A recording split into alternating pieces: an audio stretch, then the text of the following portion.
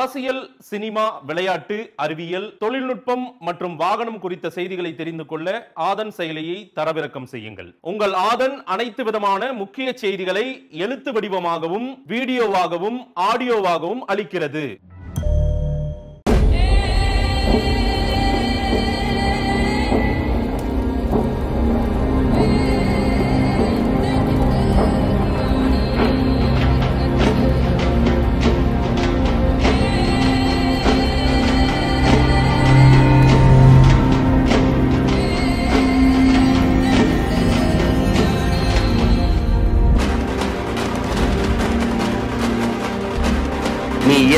இசை அடி ராஜா.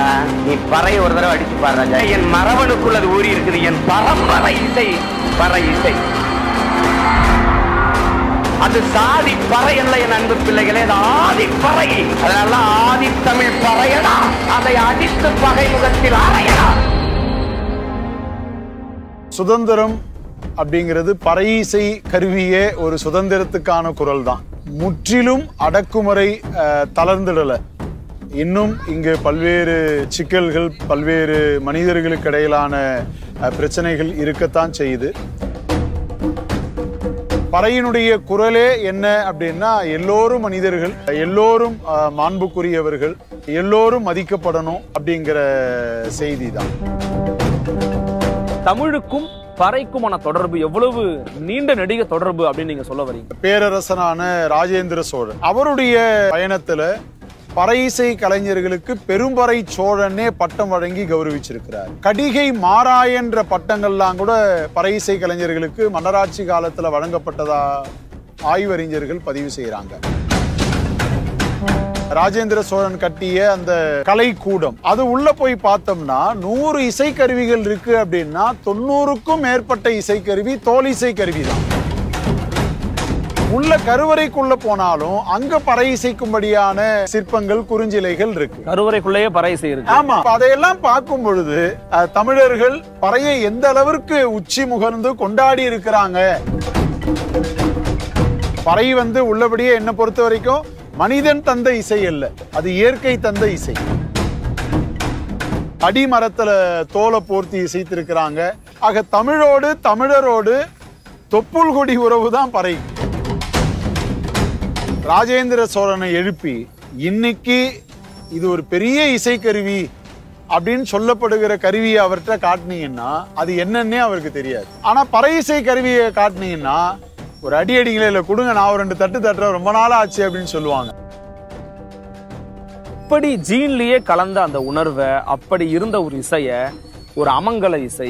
இது வந்து ஒரு குறிப்பிட்ட நிகழ்வுகளின் போது மட்டும்தான் இசைக்கக்கூடிய இசை அப்படின்னு எப்படி ஒதுக்கப்பட்டுச்சுன்னு நினைக்கிறீங்க? இப்படி கொரோனா மாதிரி கொடியதான ஜாதியம் உள்ள வந்த பிறகு மார்கழி மாதங்கள்ல இசை விழாக்கள் நடக்குது. அது மார்கழி மாதம் மட்டும்தான். ஆனா வாழ்க்கை முழுக்க எந்த இசை விழா நடக்குது? பறை பறைதான் அப்படி பறையிசைத்து அம்மனை வளம் வந்து மருத்துவமனையில சேரும் பொழுது சுகப்பிரசவம் ஏற்படும் அப்படிங்கிறது அந்த மக்களுடைய ஆழ்ந்த நம்பிக்கை. சமயத்துல என்ன விதமான சொற்கட்டு அடிச்சாங்க பறையில அப்படின்னு நம்ம தேடுறோம் கிடைக்கல. காட்டெரும வகுப்பறையில் காட்டு கத்து கத்துது. பள்ளிக்கூடம் வராமலே பார்க்கு பீச்சு சுத்துது.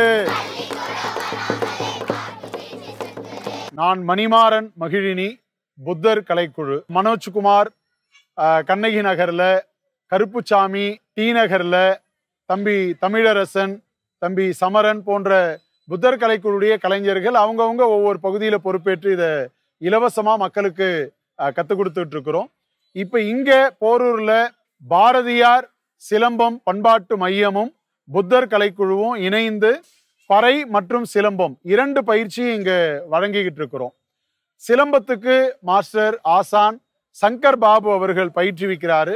பறைக்கு தம்பி சமரன் அவரோடு இணைந்து நானும் பயிற்சி கொடுத்துட்டு இருக்கிறோம் பறை காய்ச்சுறது நடுவிரல்ல இந்த வாரை வச்சுக்கணும். வச்சுக்கிட்டு கட்டையை எப்படி பிடிச்சிக்கணும்?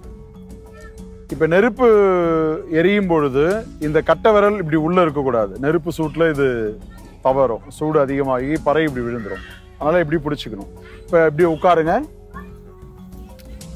இப்படி உட்கார்ந்து இப்போ நெருப்பு எரிஞ்சிக்கிட்டு இருக்குன்னு வச்சுங்க. எரிஞ்சிட்டு இருக்கும்பொழுது கொஞ்சம் கொஞ்சம் வச்சு வச்சு இப்படி சுத்தணும்.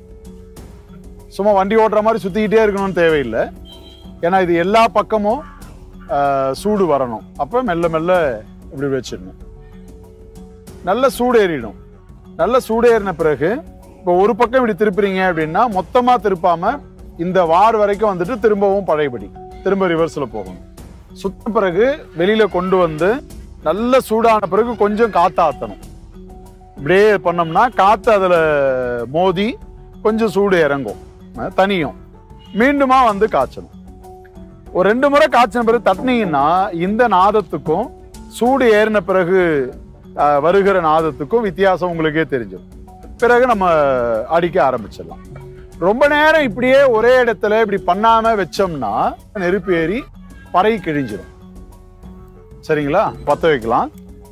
குறைவா தீ போட்டுக்கணும். தம்பி பறை எடுத்துட்டு வாங்க. சரி சரி. சாப்பிட உட்காந்து இதெல்லாம் நாம எடுத்து போடலாம். வாங்க.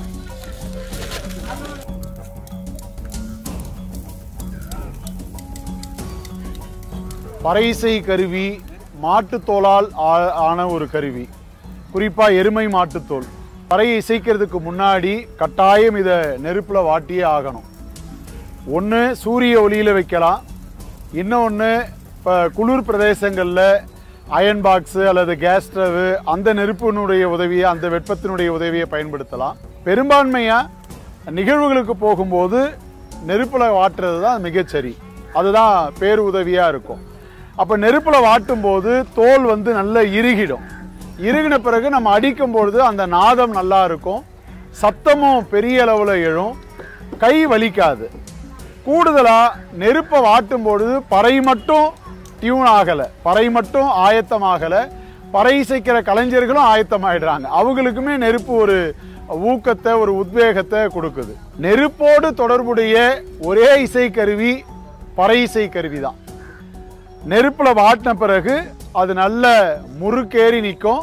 அதன் பிறகு இசைத்தோம்னா இசைக்கிறவர்கள் மட்டுமல்ல கேட்கிற பார்க்கிற மக்களும் இணைந்து ஆடுவதற்கு உந்தப்படுவாங்க. இப்போ நாம் ஆட இசைக்க தொடங்கலாம். ரெண்டு ரெண்டு பேராக நம்ம ஒவ்வொரு அடியாக அடிச்சுக்கிட்டு ஒரே அடவை மாறி மாறி நம்ம போடுவோம். அப்படி ஆடும் பொழுது இன்னும் வாசிச்சுட்டு இருக்கிறவங்க நிற்கும் பொழுது வாசிப்பில் கவனம் கூடுதலாக செலுத்துங்க. ஆடும் பொழுது அடவுகளில் கூடுதலாக க- கவனம் செலுத்துங்க. ஆட்டம் இப்போ தான் வருது. ஆடவே முடியல அப்படின்னாலும் பரவாயில்ல. ஆடுறவங்களோட இணைந்து நடந்தே அப்படி வாங்க பயிற்சி போலாமா?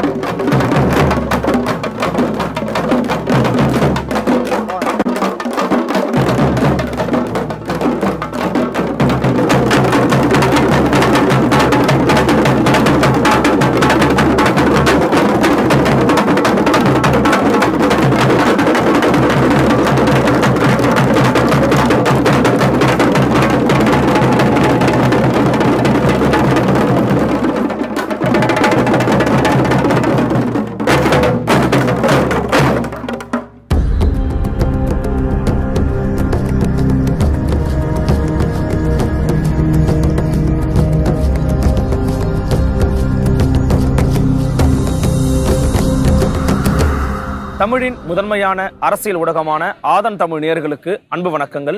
இன்று நம்முடைய ஆதன் தமிழின் தமிழ் உலா நிகழ்வில் நம்மோடு இணைந்திருக்கிறார் புத்தர் கலைக்குழுவின் தலைவர் மரியாதைக்குரிய திருமிகு மணிமாறன் அவர்கள். வாருங்கள் அவரோட ஒரு சிறப்பு நேர்காணல். நான் வணக்கம். எப்படி இருக்கீங்க? நல்லா இருக்கேன் ஆஹ் ரொம்ப மகிழ்ச்சி உங்க சந்திச்சதுல. ஏன்னா நீண்ட நாளா நான் உங்களை வந்து தொடர்ந்து வாட்ச் பண்ணிக்கிட்டே இருந்தேன். இன்னைக்காச்சும் நேரில் சந்திச்சிடலாம் அப்படின்னு. இன்னைக்கு அதுக்கு ஒரு வாய்ப்பு கிடைச்சிருக்கு. அதுவும் ஒரு நல்ல காலை பொழுதுல உங்களுடைய மாணவர்களுக்கு நீங்க பறைசை பயிற்சி சிலம்பாட்ட பயிற்சி கொடுக்கும்போது சந்திச்சிருக்கிறேன். மிக்க மகிழ்ச்சியா இருக்கு. இந்த விடுதலை நாள் எழுபத்தைந்தாவது விடுதலை நாளை ஒட்டி நிறைய விஷயங்களை வந்து நம்ம விடுதலை பெற்று வந்துகிட்டு இருக்கிறோம் அப்படின்னு நிறைய சொல்றாங்க.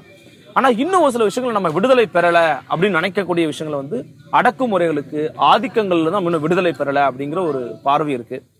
பொதுவாகவே பறைசை பயிற்சி அப்படின்னு சொன்னாலே ஒரு மேம்போக்கான பறவை என்ன வரும்னா இது ஒரு குறிப்பிட்டவர்களுக்கான ஒரு இசை தான் குறிப்பிட்டவர்கள் தான் பண்ணுவாங்க அப்படிங்கிற ஒரு பார்வை வந்து கொடுத்துக்கிட்டே இருக்கிறாங்க. இந்த பார்வையை இன்னும் உடைக்க முடியலன்னு நினைக்கிறீங்களா? முதல்ல வணக்கம். என்னை சந்திப்பதுங்கிறது ஒரு வாய்ப்பு இல்லை. நாங்கள் எளிய மனிதர்கள் சாதாரண மக்கள். அதனால் எனக்குமே ரொம்ப மகிழ்ச்சி. இந்த நாளில் இப்படி ஒரு உரையாடல் நிகழ்த்துறது நான் தொடர்ச்சியாக ஆதன் சேனல் பார்த்துட்டு வர்றேன். ரொம்ப மகிழ்ச்சியாக இருக்கும். நல்ல ஆழமான ஆக்கப்பூர்வமான செய்திகளை பதிவு செய்து மக்கள்கிட்ட பகிர்றீங்க. அதன் வழியாக எனது அனுபவத்தையும் எனது உணர்வுகளையும் பகிர்வதில் நான் மிகுந்த மகிழ்ச்சி அடைகிறேன். சுதந்திரம் அப்படிங்கிறது பறையிசை கருவியே ஒரு சுதந்திரத்துக்கான குரல் தான் முற்றிலும் அடக்குமுறை தளர்ந்துடலை தளர்ந்திடலை. இன்னும் இங்கு பல்வேறு சிக்கல்கள் பல்வேறு மனிதர்களுக்கு இடையிலான பிரச்சனைகள் இருக்கத்தான் செய்யுது. ஒப்பீட்டளவில் ஒரு பறையிசை கருவி இந்த பறை பயணத்தில் என்னுடைய தொடக்க காலத்திலையும் இன்னைக்கு பார்க்கும் பொழுது நல்ல மாற்றங்கள் ஒரு ஆரோக்கியமான வளர்ச்சி ஏற்பட்டு இருக்கிறதா தான் நான் பார்க்குறேன். ஆனாலும் இது போதுன்ற மனநிலைக்கு நாம் வர முடியல. அந்த பர்சன்டேஜ் வந்து இன்னும் பெருகணும் இன்னும் கூடணும்.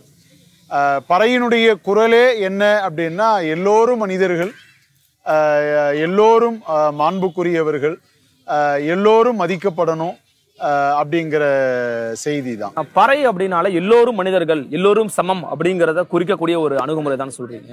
இப்ப நம்ம இன்னும் ஆழமா போனோம்னா நிகழ்ச்சியின் பேரு தமிழ் உலா அப்படிங்கிறதுனால தமிழுக்கும் பறைக்குமான தொடர்பு எவ்வளவு நீண்ட நெடிய தொடர்பு அப்படின்னு நீங்க சொல்ல வரீங்க? ரொம்ப வியப்பா இருக்கு.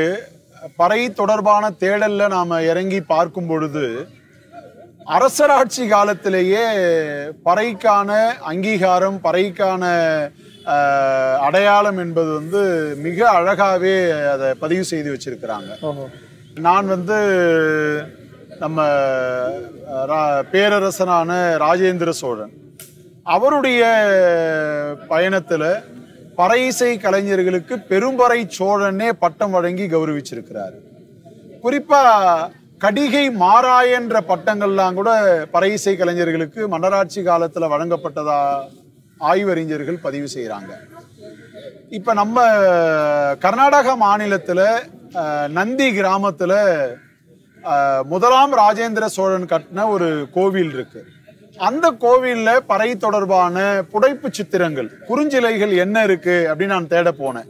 இப்போ கும்பகோணத்தில் தாராசுரத்தில் ராஜேந்திர சோழன் கட்டிய அந்த கலைக்கூடம். அது உள்ள போய் பார்த்தோம்னா நூறு இசைக்கருவிகள் இருக்கு அப்படின்னா தொண்ணூறுக்கும் மேற்பட்ட இசைக்கருவி தோல் இசைக்கருவி தான். அதுல இருமுக பறைன்னு சொல்லப்படுகிற மிருதங்கம் வடிவிலான பறை இசைக்கருவி வச்சுக்கிட்டதான புடைப்பு சிற்பங்கள். இருக்கு.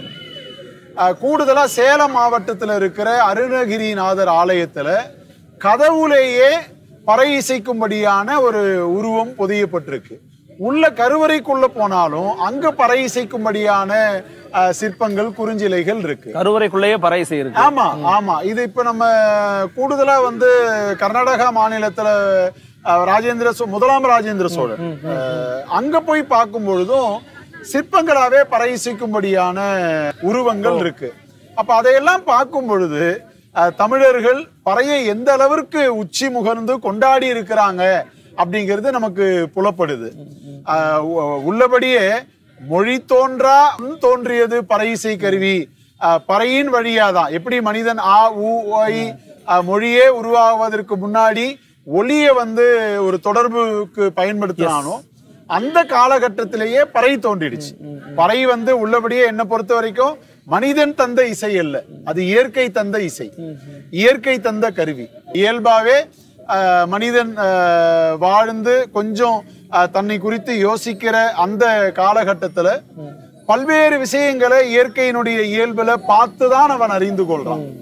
இப்ப உதாரணத்துக்கு வந்து பறையிசை கருவியை பொறுத்த மட்டும்.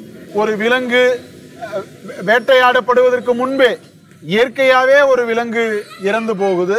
அந்த விலங்கினுடைய தோல் வந்து தோல் சீக்கிரம் மக்காது. மற்ற உறுப்புகள்லாம் மக்குது. எலும்பு தனியா தோல் தனியா வருது. அந்த தோல் மழையில நனையுது வெயில்ல காயுது பனியில உறையுது. தோல் வேறு ஒரு தன்மைக்கு வருது. அப்படி வேறு ஒரு தன்மைக்கு வருகிற அந்த தோலின் மீது ஏதோ ஒரு மரக்கிளை உர உரசுது அல்லது காய்கனி அது மேல விழுது. அப்ப ஒரு ஒலி எழும்புது.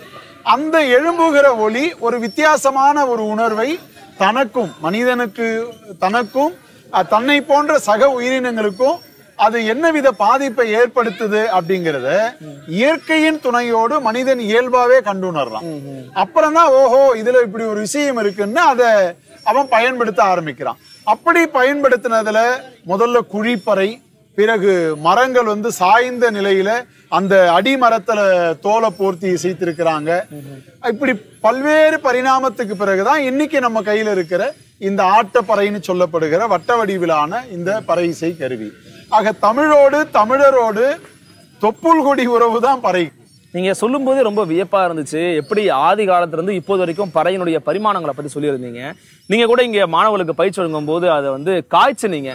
காய்ச்சும் போது சொன்னீங்க. இதை காய்ச்சறதுனால அந்த நெருப்பு வந்து அந்த இசை கருவிக்கு மட்டும் இல்ல நமக்குமே கூட ஒரு புத்துணர்ச்சியை உண்டாக்கும்னு சொன்னீங்க. பறை இசை இசைச்சா குழந்தையிலிருந்து கிழவர்கள் வரைக்குமே யாராக இருந்தாலுமே பெரியவங்க வரைக்குமே ஒரு டக்குன்னு நம்ம எந்திரிச்சு ஆட்டம் போடலாம்பா அப்படின்னு தோணுது. அந்த உணர்வை வந்து பறை கொடுப்பதை நீங்க எப்படி ஃபீல் பண்றீங்க? உச்சபட்ச மகிழ்ச்சியான விஷயம். வார்த்தைகள்ல வர்ணிக்க முடியாது ஆமா நீங்க பாருங்களேன். இப்ப உதாரணத்துக்கு ராஜேந்திர சோழனை எழுப்பி இன்னைக்கு இது ஒரு பெரிய இசைக்கருவி. அப்படின்னு சொல்லப்படுகிற கருவியை அவர்கிட்ட காட்டுனீங்கன்னா அது என்னன்னே அவருக்கு தெரியாது. ஆனா பறையிசை கருவியை காட்டினீங்கன்னா ஒரு அடி அடிங்களே இல்ல கொடுங்க நான் ஒரு ரெண்டு தட்டு தட்டுறேன் ரொம்ப நாள் ஆச்சு அப்படின்னு சொல்லுவாங்க. ஏன்னா இது மரபு சார்ந்தது. ஆதி மனித காலத்துல இருந்தே இது இருக்கு. அதனால இதை தவிர்க்கவே முடியாது. நம்ம அடிக்கும் பொழுது குழந்தையும் ஆடுது வயது மூத்தவர்களும் ஆடுறாங்கன்னா அது அவங்க மட்டும் இல்லை. அவங்க தாத்தா ஆடியது. அந்த மரபணு. முப்பாட்டன் இசைத்தது. அந்த மரபு வந்து அணுக்கல்ல ஜீன்லயே கலந்துருச்சு. அதனால அதை நம்ம உயிர்ல இருந்து பிரிச்சு எடுக்கவே முடியாது. அப்போ இதுதான் சரியான கட்டம் நினைக்கிறேன். இந்த கேள்வி கேட்க. அப்படி ஜீன்லயே கலந்த அந்த உணர்வை அப்படி இருந்த ஒரு இசைய ஒரு அமங்கல இசை இது வந்து ஒரு குறிப்பிட்ட நிகழ்வுகளின் போது மட்டும்தான் இசைக்கக்கூடிய இசை அப்படின்னு எப்படி ஒதுக்கப்பட்டுச்சுன்னு நினைக்கிறீங்க? அதுதான் இப்படி கொரோனா மாதிரி கொடியதான ஜாதியம் உள்ள வந்த பிறகு அந்த ஜாதிங்கிற நச்சு இந்த கலையின் மீது இந்த கலைஞர்கள் மீது போர்த்தப்பட்ட பிறகுதான் இந்த பிரச்சனை உருவாச்சு. மற்றபடி இது அதனாலதான் இன்னைக்கு வந்து அவர் பிறப்பால ஒடுக்கப்பட்ட சமூகமா இருக்கணும்னு தேவையில்லை. அவர் எந்த சமூகமா வேணாலும் இருக்கலாம். உணர்வு ரீதியா அந்த இசையை கேட்டதுமே ஆட தோணுது. கை வந்து நம நமன்னு இருக்கு. அப்படி அதற்கு என்ன அர்த்தம்? ஆதி மனித வாழ்க்கையில இவங்க எல்லாருமே மனிதர்களா வாழ்ந்தவங்க. உறவுகளா இருந்தவங்க. சாதியம் என்பது இடையில வந்துதான் சீன சுவர் மாதிரி இரு மனிதர்களுக்கு இடையில அது உருவாயிடுச்சு. உணர்வு ரீதியா நாம நாமளா தான் இருக்கிறோம். சிந்தனை ரீதியா தான் இந்த சாதி சுவர் வந்து எழுப்பப்பட்டிருக்கு. இல்ல இல்ல இது வந்து அவருக்கான பகுதி இது நமக்கான பகுதி. இது அவருக்கான இசை இது நமக்கான இசை. இந்த இந்த சுவரை உடைச்சிட்டா நாம மீண்டும் பழைய உறவுக்குள்ள போயிடுவோம். அந்த சுவரை உடைக்கிற வேலையை நிச்சயம் பறையிசை கருவி எதிர்காலத்துல செய்யுங்கிற நம்பிக்கை எனக்கு இருக்கு. அதற்கு ஆதாரம் அதற்கு சாட்சி தான் இன்னைக்கு நடைமுறையில. ஒரு பக்கம் இது குறிப்பிட்ட சமூகத்து மக்கள் இசைக்கக்கூடிய கருவி அல்லது இது வந்து இறப்பு சடங்குகளில் இசைக்கக்கூடிய கருவி அப்படிங்கிற ஒரு குறுகிய பார்வை இருக்குது. அது ஓரளவுக்கு உண்மையும் கூட. யார் இந்த கருவிய இந்த கலை வடிவத்தை தொழிலா மேற்கொண்டு இருக்கிறாங்கன்னா ஒரு குறிப்பிட்ட சாரா மக்கள் தான் மேற்கொண்டு இருக்கிறாங்க ஆனா அதை தாண்டி இன்னைக்கு பரவலாக்கப்படுது. பல பேர் வந்து ஐயோ என் தாத்தா செய்த தவறை என் அப்பா செய்த தவறை அதாவது சாதியம் வந்த பிறகு நான் அந்த தவறை செய்ய போறதில்ல. இது வந்து நிச்சயம். எனக்கு அந்த வாய்ப்பு மறுக்கப்பட்டிருக்கு. என் பிள்ளைகள் கட்டாயம் இதை கற்றுக்கொள்ளணும். எப்படி என் குழந்தை பரதநாட்டியம் கத்துக்குதோ எப்படி என் குழந்தை கீபோர்டு கிட்டார் ட்ரம்ஸ்னு கத்துக்குதோ அதே போல நமது மண்ணின் கலை வடி வடிவமான நமது மரபு இசைக்கருவியான பறை போன்ற கருவிகளை நம்ம கு- எங்க குழந்தைங்க கத்துக்கணும்ட்டு ரொம்ப ஆர்வத்தோட வராங்க. அதற்கு சாட்சி தான் இப்ப நீங்க பார்த்தது. அரசு சார்ந்தும் சரி திரையுலகம் சார்ந்தும் சரி ரெண்டுத்தையும் நான் வந்து இணைச்சு பேச விரும்புறேன். சோ அரசு ஒரு சில விஷயங்களுக்கு முக்கியத்துவம் கொடுத்தாதான் அது வளரும் அப்படிங்கிறது ஒரு பார்வை. திரையுலகம் வந்து ஒரு ஆதிக்கம் செலுத்துறதுனால தமிழர்கள் மத்தியில சரி நம்ம களத்திலையும் சரி ஆதிக்கம் செலுத்துறதுனால திரையுலகத்தையும் நான் சேர்த்துக்கிறேன். இந்த இருவருமே இந்த பறை இசைக்கு மட்டும் அதிகமான முக்கியத்துவம் கொடுக்கலன்னு நீங்க நினைக்கிறீங்களா? ஏன்னா இப்ப இசைக்கலைஞர்களுக்கு விருது கொடுக்கறதா இருக்கட்டும் அதுல வந்து பறை இசை கலைஞர்கள் எவ்வளவு தூரம் இம்பார்ட்டன்ஸ் கொடுத்துருக்காங்க தமிழக அரசு. திரையுலகமாக இருக்கட்டுமே எந்தெந்த திரைப்படங்கள் எல்லாம் இந்த இசையை காமிச்சிருக்காங்கன்னு பாத்தீங்கன்னா ரொம்ப ரேரஸ்ட் ஆஃப் ரேரா இருக்கு. அல்லது நீங்க சொல்றது போல குறிப்பிட்ட ஒரு சில விஷயங்களை காண்பிக்கிறவர்கள் மட்டுமே காண்பிக்கக்கூடிய விஷயமா இருக்கு. இவங்க ரெண்டு பேரும் என்ன தப்பு பண்றாங்கன்னு நினைக்கிறீங்க?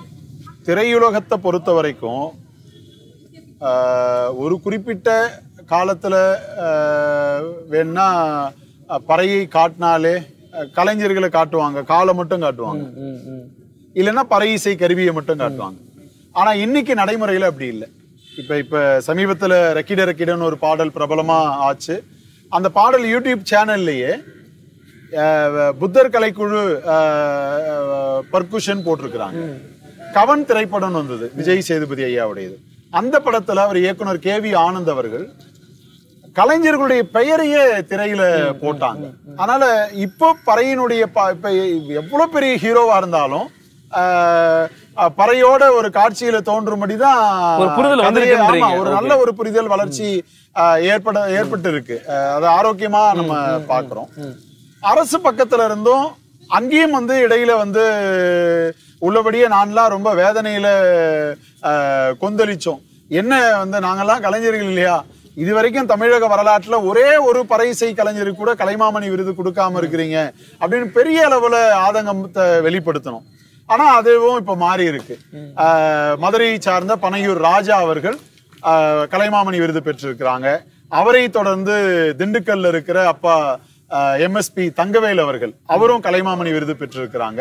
இன்னும் இந்த எண்ணிக்கை போதாது. எப்படி நம்ம பறைக்கான அங்கீகாரம் போதாது அப்படின்னு நம்ம முன்னாடி பேசணுமோ அதுதான் விருதுகள் சார்ந்தோம். இன்னும் வந்து விருதுகள் பரவலா வழங்கப்படணும். ஏன்னா நீங்க இத்தனை ஆண்டு காலமா இந்த துறைக்கு வழங்கவே இல்லை. இப்ப நான் பிற துறைகளை எல்லா கலைகளையும் நான் மதிக்கிறேன் நான் அதை நான் உடன்படுறேன். நான் கூர்க்க என்ன கேள்வி கேட்க விரும்புறேன்னா இப்போ ஒரு சில குறிப்பிட்ட இசைகளுக்கோ வாத்தியங்களுக்கோ ஒரு விழா வைக்கிறாங்க. அந்த விழாவை செய்தித்தாள்கள் முழுக்க நம்ம பரப்புறாங்க. எல்லா ஊடகங்களும் வந்து அதை பரப்பி பேசுறாங்க. ஒரு குறிப்பிட்ட நாள் வரைக்கும் இந்த விழா நடக்குதுங்கிறது உலகத்துக்கே தெரியுது ஊருக்கே தெரியுது. அது போல ஒரு குறிப்பிட்ட இசை நிகழ்ச்சிகளுக்கு பாடல் நிகழ்ச்சிகளுக்கு கொடுக்கக்கூடிய முக்கியத்துவத்தை ஏன் பறை இசை கலைஞர்களுக்கும் பறை இசைக்கும் கொடுக்கறது இல்லை அப்படிங்கறத அதுதான் நான் சொல்றேன். இந்த இந்த பறையின் மீது சுமத்தப்பட்டிருக்கிற அல்லது பறை கலைஞர்கள் மேல திணிக்கப்பட்டிருக்கிற அந்த சாதியம் தான் இதற்கு அடிப்படையான காரணம். அதை தூக்கி வீசி எறிஞ்சிட்டா நிச்சயம் இதுல பிரச்சனையே இருக்காது. மார்கழி மாதங்கள்ல இசை விழாக்கள் நடக்குது. அது மார்கழி மாதம் மட்டும்தான். ஆனா வாழ்க்கை முழுக்க எந்த இசை விழா நடக்குது? பறை பறை தான். நீங்க பறை இல்லாமல் ஒரு திருவிழா நடக்கிறது இல்ல பறை இல்லாமல் ஒரு இறப்பு சடங்கு முடியறது இல்ல பறை இல்லாமல் வாழ்க்கையில பல்வேறு விஷயங்கள் நடக்கிறது இல்ல மனிதனுடைய வாழ்க்கையில ஒரு பின்னி பிணைந்த ஒரு விஷயமா தான் பறை இருக்கு. அதனால பறை இல்லாம மனித தமிழர்களுடைய வாழ்க்கை இல்ல. நீங்க ஒரு ஓட்டெடுப்பு கூட நடத்திட்டோம். தமிழகத்துல மட்டுமே நான் சொல்றேன். இந்திய அளவுல உலக அளவுல கூட நான் சொல்லல. தமிழகத்துல மட்டுமே பறையை இசைக்கக்கூடிய நபர்களுடைய எண்ணிக்கை எவ்வளவு? அல்லது பறையை விரும்பக்கூடிய வாழ்க்கையில அங்கம் வகிக்கக்கூடிய மக்களுடைய எண்ணிக்கை எவ்வளவுன்னு எடுத்தீங்கன்னா பெரும்பான்மை இதுவா தான் இருக்கும். ஆனா அப்படி பெரும்பான்மை இருந்தும் கூட இந்த கலைஞர்களுக்கு இந்த கலை வடிவங்களுக்கு இன்னும் உரிய அங்கீகாரம் கிடைக்கல என்பது நமக்கு வேதனையான விஷயம்தான் அது இனியாவது அது மாறும்னு நம்பிக்கை இருக்கு எனக்கு. நீங்க எத்தனை வருஷமா இந்த பறை இசை கலையை வந்து கற்றுக் கொடுத்துக்கிட்டு இருக்கீங்க? நீங்க எத்தனை பேருக்கு பயிற்சி கொடுத்துருப்பீங்க தோராயமா? ஒண்ணு வந்து புத்தர் கலைக்குழு உருவான பிறகு நம்ம எடுத்துக்கிட்டோம்னா ஒரு ஆண்டுக்கு இரண்டு பறை முகாம்கள் நடத்துவோம். ஒண்ணு வேடந்தாங்கல்ல பயிற்சி முகாம் நடத்து நடக்கும் ஒண்ணு சென்னையில பயிற்சி முகாம் நடக்கும். ஒவ்வொரு பயிற்சி முகாம்கள்லயே அஹ், எ- எழுபதுல இருந்து நூறு பேர்ட்ட அஹ், வருவாங்க. இப்ப இந்த கொரோனானால ரெண்டு ஆண்டுகளா அது நடக்கல. அது இல்லாம யாராவது அழைப்பு கொடுத்தாங்கன்னா நாங்க போய் பயிற்சி கொடுப்போம். பள்ளிக்கூடங்கள்ல கல்லூரிகள்ல அல்லது சமூக நிகழ்வுகள் எல்லாம் போய் நம்ம பயிற்சி கொடுப்போம். அப்ப நாமளா போய் பயிற்சி கொடுத்தது ஒண்ணு அவங்க அழைப்பின் பேர்ல பயிற்சி கொடுத்தது ஒண்ணு. இப்படி நாம கணக்கெடுத்துட்டோம்னா ஆயிரக்கணக்கான நபர்களுக்கு மேல பயிற்சி நம்மகிட்ட. பயிற்சி பெற்றிருப்பாங்க. நான் அஹ், எனக்கு ஆசான் வந்து அழகர் சாமி வாத்தியார் அவர்கள் இன்னொன்று மதுரை அலங்காநல்லூர் சேர்ந்த ஆறுமுகம் அவர்கள். அவங்க ரெண்டு பேருமே இயற்கை எழுதிட்டாங்க இல்ல. நீங்க பிறந்து வளர்ந்தது எல்லாமே சென்னை தான். நான் சென்னை தான். நான் சென்னை தான். சென்னையில வந்து சென்னை தான் எனக்கு பறையை கையில கொடுத்தது. கூடுதலா அதனுடைய நுட்பங்கள் இன்னும் அதுல என்ன ஆழம்லாம் இருக்கு அப்படின்னு சொன்னதுல எனக்கு அவங்க உங்களுடைய அழகசாமி வாத்தியாரும் ஆசான் ஆறுமுகம் அவங்க ரெண்டு பேருமே. அவங்க வழியாக தான் நான் இன்னும் பறையில நுட்பங்களை கற்றுக்கொண்டு இன்னும் நான் தேடிக்கிட்டு தான் இருக்கேன். இன்னும் தெரிஞ்சுக்கிட்டு தான் இருக்கிறேன். உதாரணத்துக்கு சொல்லணும்னா நம்ம தமிழர்களோட இணைச்சு பேசும் பொழுது அஹ், இலங்கையில யாழ்ப்பாணத்துல இரட்டை கேணியம்மன் ஒரு ஆலயம் இருக்கு ஒரு அம்மன் கோவில். அந்த அம்மன் கோவில்ல யாருக்கும் பிரசவம் ஏற்படுதுன்னா அந்த பிரசவத்துக்கு முன்னாடி கோவிலாண்ட வந்து பறை செய்து கோவிலை ஒரு வளம் வந்து அதற்கு அருகாமையில் இருக்கிற ஒரு மகப்பேறு மருத்துவமனை. அங்க அவங்க சேர்த்துருவாங்க. அப்படி பறை இசைத்து அம்மனை வளம் வந்து மருத்துவமனையில் சேரும் பொழுது சுகப்பிரசவம் ஏற்படும் அப்படிங்கிறது அந்த மக்களுடைய ஆழ்ந்த நம்பிக்கை. இப்ப அந்த சமயத்துல என்ன விதமான சொற்கட்டு அடிச்சாங்க பறையில அப்படின்னு நம்ம தேடுறோம் கிடைக்கல. இன்னும் தேடிக்கிட்டே இருக்கும். என்னென்ன அடிகள்லாம் அடிச்சாங்க என்ன மாதிரியான ஏன்னா இப்ப நீங்க வந்து இப்பவே நடைமுறையில மதுரையில இறப்பு சடங்குகள்ல ஒரு தாளம் இசைக்கிறாங்க. சென்னையில இறப்பு சடங்குகள்ல ஒரு தாளம் இசைக்கிறாங்க. கோயம்புத்தூர்ல கோவில் திருவிழாவுக்கு ஒரு அடி அடிக்கிறாங்க. கும்பகோணத்துல ஒரு அடி அடிக்கிறாங்க. அந்தந்த பகுதி வட்டார சார்ந்து எப்படி நம்ம பேசுகிற மொழி வேறுபடுதோ அப்படி இசை அடிக்கிற முறையும் மாறுபடுது. அதையும் இன்னும் தேடிக்கிட்டு இருக்கோம். அதனால இந்த கற்றல் என்பது இந்த தேடல் என்பது ஒரு நீண்ட பயணமாவே இருக்கு. தேடல் இருந்துகிட்டே இருக்குன்னு சொல்லியிருக்கிறீங்க. இருந்தாலும் நான் இன்னும் கூடுதல் என்ன கேட்க விரும்புறேன்னா இப்ப கல்லூரிகள் வந்து அரசு வந்து இயக்கிக்கிட்டு இருக்காங்க பள்ளிக்கூடங்களும் அரசு இயக்குறாங்க அரசு பிள்ளை அரசு கல்லூரிலாம் இருக்குது. இதுல இருக்கக்கூடிய கல்வி திட்டங்கள்ல இப்ப இசை கல்லூரினே தனியா வச்சிருக்கிறாங்க. இது போன்ற இடங்கள்ல பறை இசையும் கற்றுத் தராங்களா அதுக்கான முக்கியத்துவத்தை கொடுக்குறாங்களா? உங்களுடைய பார்வை என்ன? இப்ப தமிழக இசை கல்லூரிகள்ல தனி சிறப்பு பாடமா பறை இல்லை நாட்டுப்புறவியல் நாட்டுப்புற மாதிரி, அப்படின்னு. ஒரு படிப்பு இருக்கு.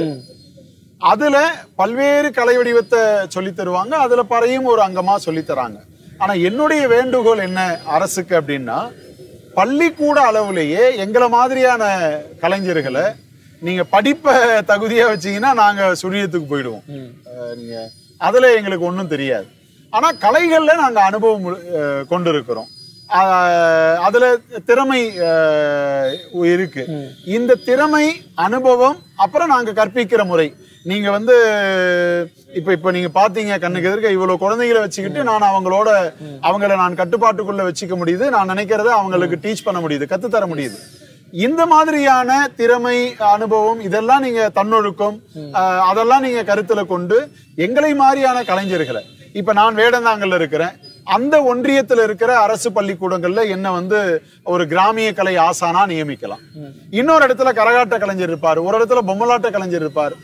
இப்படி நம்முடைய மரபு சார்ந்த கலை வடிவங்களுடைய கலைஞர்களை கிராமிய கலை ஆசான்களாய் அல்லது வேற என்ன பேர் வேணாலும் நீங்க சொல்லுங்க. ஒரு ஆசிரியர் பணி கொடுத்தீங்க அப்படின்னா கலைஞர்களும் கலையும் வளரும். உறுதி செய்யப்படும். அடுத்த தலைமுறையிட்ட கலைகளை கொண்டு சேர்த்துரும் அப்ப அவங்க கல்லூரி பருவத்துக்குள்ள வரும் பொழுது அந்த கலையின் மீதான மதிப்பு வந்து உயர்ந்துரும். அப்ப அவங்களுமே நானும் கற்றுக்கொண்டு நானுமே ஒரு நிகழ்த்து கலைஞனா உருவாகிறேங்கிற அளவுக்கு வருவாங்க. நீங்க பத்தோட ஒண்ணு பதினொன்னு அப்படிங்கிற மாதிரி நீங்க பறையை கொடுத்தீங்க அப்படின்னா அந்த ஆழம் வந்து போய் சேராது. இப்ப நீங்க ஒரு குழந்தை டிவி பாக்குது. சேனலை மாத்திக்கிட்டே இருக்கு. ஏன்னா இப்ப வந்து ஒரு நிலையில இருந்து பார்க்கக்கூடிய மனநிலையில இந்த தலைமுறை இல்ல. மாத்திக்கிட்டே இருக்கிறாங்க. அப்படி உளவியல் இருக்கிற குழந்தைகள்கிட்ட நீங்க வந்து இதுதான் கர க- மண்டையில சொம்ப வச்சுக்கிட்டா கரகாட்டம் கையில குச்சி வச்சுக்கிட்டா கோலாட்டம் ஒரு மோளத்தை வச்சுக்கிட்டா பறையாட்டம்ன்ற மாதிரி நீங்க மேம்போக்கா கொண்டு போனீங்க அப்படின்னா அந்த கலையும் வீரியத்தன்மை இழந்துரும். அந்த குழந்தைகளும் அதன் இதுதானே I know Kolattam I know Oyilattam I know கழியலாட்டம்ன்ட்டு ரொம்ப சாதாரணமா அதை எடுத்துக்குவாங்க. ஆனா கலைகள் வந்து அப்படி இல்லை. அது ரொம்ப ஆழமான கலைகள் கடல் போன்றது. ரொம்ப ஆழமா இருக்கு அரசு வந்து நிறைய முன்னெடுப்புகள் இந்த புதிய அரசாங்கம் மேற்கொண்டு இருக்காங்க அவர்களுக்கு ஒரு முக்கியமான ஒரு கோரிக்கை நீங்க வச்சிருக்கிறதா நானுமே பாக்குறேன் இறுதியாக நேர்களை பார்த்து நீங்க சொல்லுங்க. உங்கள்கிட்ட எப்பெல்லாம் வந்து இந்த பறைய பயிற்சியை கத்துக்கலாம் நேயர்கள் அதே போல ஒரு தனி மனிதர் எதற்காக பறையை கற்றுக்கொள்ள வேண்டும்? பறை இசை மட்டுமல்ல. அல்லது பறையாட்ட கலை வடிவம் மட்டுமல்ல ஒட்டுமொத்த நாட்டுப்புற நாட்டுப்புற நிகழ்த்து கலை வடிவங்கள் எதை கற்றுக்கொண்டாலும் இப்போ நான் எங்கள் புத்தர் கலைக்குழு கலைஞர்களுக்கு சொல்லுவேன் அல்லது என்னிடம் பழக வர்றவர்களுக்கு நான் சொல்லுவேன் இந்த கலையை நிகழ்த்தும் பொழுது பார்க்குறவங்களுக்கு மகிழ்ச்சியாக இருக்குது கேட்குறவங்களுக்கு கொண்டாட்டமாக இருக்குது அப்படிங்கிறது அப்படிங்கிறது ரெண்டாவது. முதல்ல எது அப்படின்னா அதை நிகழ்த்தும் போது இசைக்கும் பொழுது ஆடும் பொழுது எனக்கு அது என்ன செய்யுது? என் உடல் ரீதியான உள்ள ரீதியான இறுக்கத்தை உடைத்து ஒரு சுதந்திர உணர்வை கொடுக்கக்கூடிய ஆற்றல் நம்முடைய மரபுசார் கலை வடிவங்களுக்கு உண்டு. ஆகவேதான் நான் வலியுறுத்துறேன். நீங்க கட்டாயம் பறை மட்டும் அல்ல பாட செய்யுங்க நடிக்க செய்யுங்க ஆட செய்யுங்க இசைக்க செய்யுங்க எதையும் செய்யலாம். நாட்டுப்புற கலை வடிவங்களை நோக்கி நாட்டு மக்கள் திரளணும் என்பதுதான் என்னுடைய வேண்டுகோள். ஸோ ஞாயிற்றுக்கிழமை ஞாயிற்றுக்கிழமை உங்களை வந்து எந்தெந்த இடத்துலலாம் வந்து இலவசமா அந்த பயிற்சியை மேற்கொள்ளலாம்? சென்னையை பொறுத்த வரைக்கும் டி நகர் கண்ணகி நகர் போரூர் அடையார் நான்கு இடங்கள்ல இலவச பயிற்சி ஞாயிற்றுக்கிழமை தோறும் நடக்குது. ஒருவேளை சில பேருக்கு ஞாயிற்றுக்கிழமை வர முடியல அவங்களுக்குரிய நேரம் தான் வரணும் வர முடியும்னா அப்பவும் எங்களை தொடர்பு கொள்ளலாம். வேடந்தாங்கல்ல கலைகளும் கலை கருவிகளும் கலைஞர்களும் எப்போதும் காத்துக்கிட்டு இருக்கிறாங்க. வந்தீங்கன்னா அவங்கள்ட்ட கலைகளை பகிர்வாங்க. வணக்கம். என்னுடைய பேர் சங்கர் பாபு. எங்க சிலம்ப பயிற்சியோட பேர் பாத்தீங்க அப்படின்னா பாரதியார் கலை பண்பாட்டு மையம். ரெடி சமநிலை. தயார் நிலை. ஓய்வு நிலை. வாரல். ஸ்டார்ட் வெட்டு ஸ்டார்ட் ஒன் Go! Three. தலைவாரல். ஒன் டூ பின்வாரல் முன்வெட்டு. Start one two three and rotation sticker rotate பண்ணணும். Five, six, seven. வலது கையில பிடிச்சுக்கோங்க. இடது கையை பின்னாடி லாக் பண்ணிக்கோங்க. தொங்க விட்டீங்கன்னா அடி விழுந்துடும் கையில. அதனால பின்னாடி முதுகு பின்னாடி லாக் பண்ணிக்கணும். ரெடியா ஸ்டார்ட் நின்ன இடத்துல இருந்து பின்வாரல் முன்வெட்டு. ஃபோர் ஃபைவ் நிச்சயமா ரொம்ப மகிழ்ச்சியா இருந்தது. உங்களோட நேரம் செலவிட்டது. மாணவருடைய பயிற்சிகளையும் பார்த்தோம். உங்களுடைய நடைமுறை நீங்க எப்படி தன்னொழுக்கத்தை கற்றுக் கொடுக்குறீங்க அப்படிங்கறதையும் பார்த்தோம். தொடர்ந்து உங்களுடைய களம் வெற்றியடைய எங்களுடைய வாழ்த்துக்கள். நன்றி நன்றி. நண்பர்களே மீண்டும் ஒரு தமிழ் உலா நிகழ்வில் மற்றும் ஒரு சிறப்பு தலைப்பில் இன்னொரு சிறப்பு ஆளுமையோடு உங்களை சந்திக்கிறேன். அதுவரை உங்களிடமிருந்து விடைபெறுவது உங்கள் அருள்மொழிவர்மன். இணைந்திருங்கள் இது உங்கள் ஆதன்.